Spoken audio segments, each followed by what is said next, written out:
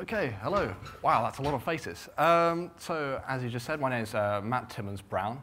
I'm 16, and I'm here uh, to talk to you today about the Raspberry Pi Guy, tackling STEM, and the next 25 years. But before I get started, I'd just like to say what an honor it is to be here talking to the people of a company uh, that predates me by almost a decade. So yeah, I'm 16. I'm a student at Hills Road Sixth Form College, where I study double maths, physics, computer science, and electronics. Uh, so none of, none of that English stuff. And uh, I've, uh, well, that was, that was harsh. Um, for the last uh, three years, uh, ever since I was 12 years old, I've run a YouTube channel called The Raspberry Pi Guy. Now, The Raspberry Pi Guy has been a little online uh, venture for me to teach people about a topic which I love, and that is computer science, coding, electronics, etc., are based around the Raspberry Pi computer. And I'm going to be talking a little bit more about that in a second. And so to date, I've had 3.1 million views on my YouTube channel and website. So it's just a small side project that I've, that I've been doing over the past couple of years. So this is what I'm going to be talking to you today. I'm going to be talking about the Raspberry Pi guy, tackling STEM, and the next 25 years. But first off, I'd just like you to cast your minds back to 2011. Along with important news such as the tragic death of Steve Jobs, the launch of Google+, there was also a 12-year-old Matt who's very different to the one standing in front of you on this stage today. This was a Matt who wasn't particularly interested in computer science. Uh, I used to really like sort of consumer technology, learning about tablets and mobile phones, etc. But I never really knew or understood uh, anything to do with the computer science and the actual cool stuff that lay behind those shiny modern technology screens, etc. And uh, this all changed, funnily enough, from Stuff Magazine.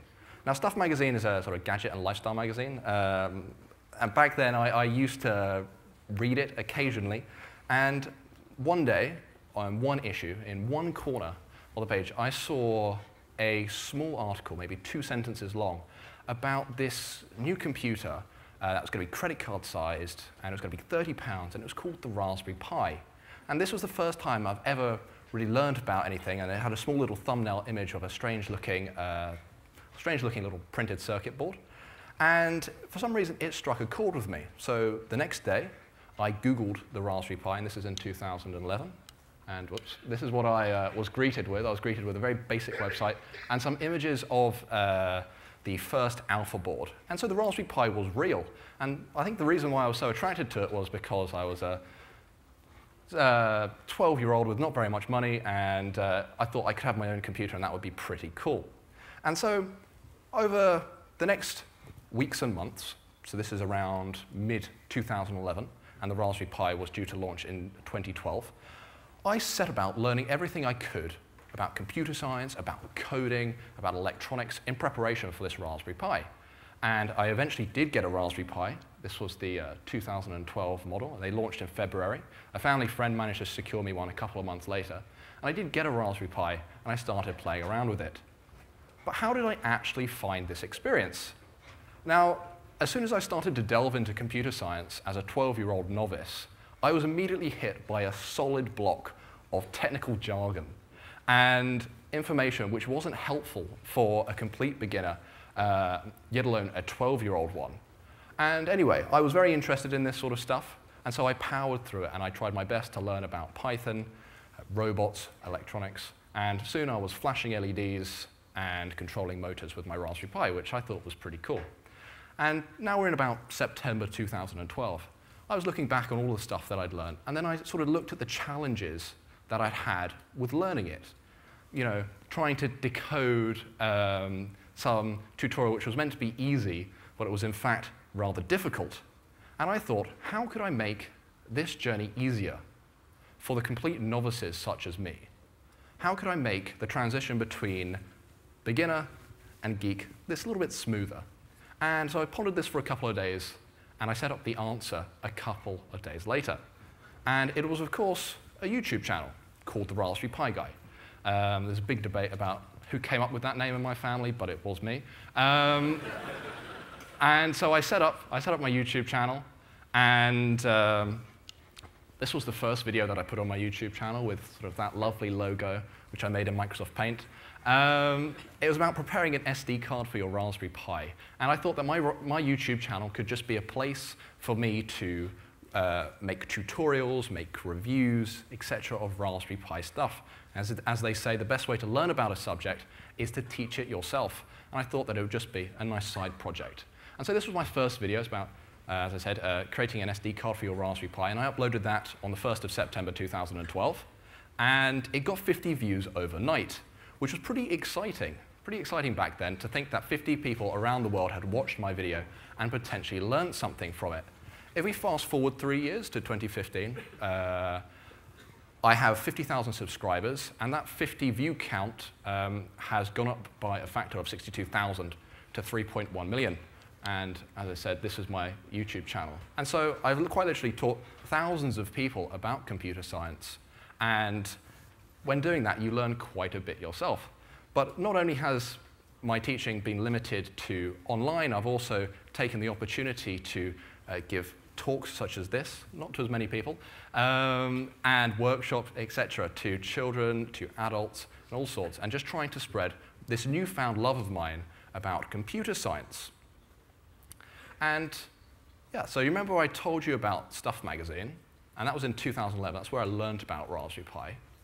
Well, in fact, that came full circle, if we're talking about full circles with the BBC Microbit it came full circle, and I actually was featured in Stuff magazine uh, about nine months ago on the launch of Raspberry Pi 2. Uh, they asked me to do a little bit of a sort of article interview, um, and that was just a, I thought I'd mention that as a little full circle.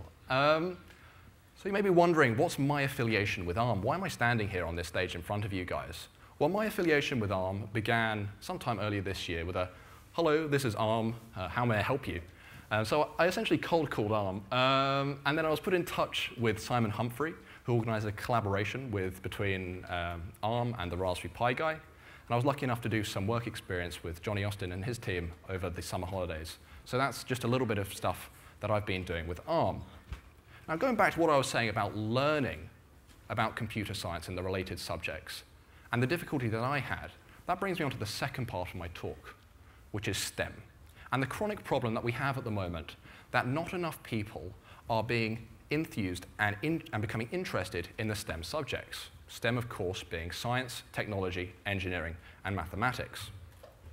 So the general trend at the moment, illustrated by some of these screenshots of news uh, websites that I've found, is that whilst our dependence on technology, as computers get more and more common and integrated into more and more things, whilst that goes up, the amount of people who are studying the STEM fields, which is what that technology is built on, is going down. And this, of course, is going to be a massive problem for the future.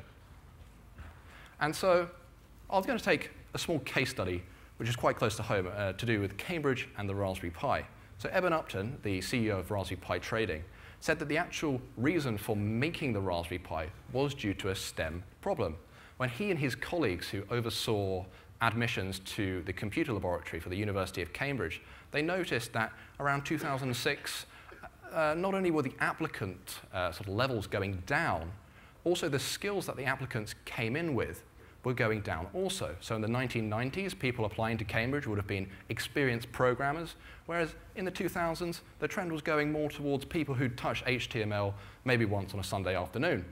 And so this was a big problem that actually led to the creation of the Raspberry Pi. And this is visible all over the Western world, from the UK to the US. And as you can see, lots, lots of stuff is being said about it. And so what's actually being done about STEM? So quite a lot is being done about STEM. We have, as I said, things like the Raspberry Pi and the BBC Microbit. These are being envisioned to give children a platform to learn about technology and to get that original experience with tech that people from the 80s had with things like the BBC Micro.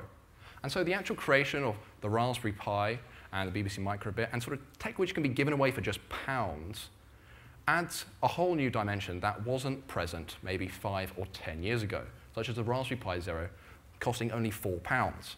That, that's a level of interaction which wasn't present before. Also on a more national scale, computer science is now a compulsory part of the curriculum. And so therefore, it's going in the right, the right direction. But as a young person, and as someone who li likes to educate people about computer science and electronics, what have been my observations and, and what do I think people can do to tackle STEM? Well, I think the biggest problem in STEM right now is inspiration. And here we have a picture of, of uh, some children being inspired by one of my favorite thing, uh, things, and that is, of course, a robot. I think that STEM is being taught in schools in a quite dull way. And I think that through the use of, say, financial applications and stuff like that, that isn't the best way to teach people and to, to introduce them to computer science. What we need to be doing is introducing children and adults for that matter too to, to the immensely creative subjects that computer science and coding and electronics are. And so I think that the biggest problem that we're having at the moment uh, with STEM is that people aren't being enthused. And as I said, the answer to that is by increasing the amount of interesting things to teach them with, such as robots, Minecraft, etc. And now what can other people do? So I've talked about some things that companies are doing, I've talked about uh, what's happening on a national level, but what can people do and the employees of ARM do? And it was really interesting to hear James say that um, people that ARM are going to be uh, supporting STEM activities from, from schools in the surrounding area, which is one of the things I was going to suggest. Getting uh, involved in your local community is extremely important with volunteering in schools, running code clubs, and giving children that exposure to computer science, which could, which could evolve into something where they, say, pursue a STEM career and then perhaps work for ARM. So the benefits of, of uh, encouraging STEM are, of course, more people in STEM fields, more people for ARM and related companies to hire. And that brings me on to my third small segment, which is the next 25 years. And what do they hold for me and my generation? So it's evident that technology is becoming cheaper and smaller and more efficient. And so we're going to see, I think it's a safe bet to say that we're going to see uh, technology and ARM technology in many more devices, in a huge range of devices, in fact, uh, as, it, as it's integrated more and more into modern day life. And the people creating this technology will, of course, be your generation, but also it's going to be handed over to my generation. And this is why STEM is really important, so that that handover can go smoothly and that we have enough people in future generations to carry on the amazing momentum that the computer science and tech movement has had since the 1980s. And so that's pretty much me done. I've been uh, Matt Timmons Brown. I'm not going to do any questions now. If you've got questions, please come and find me. Uh, thank you very much.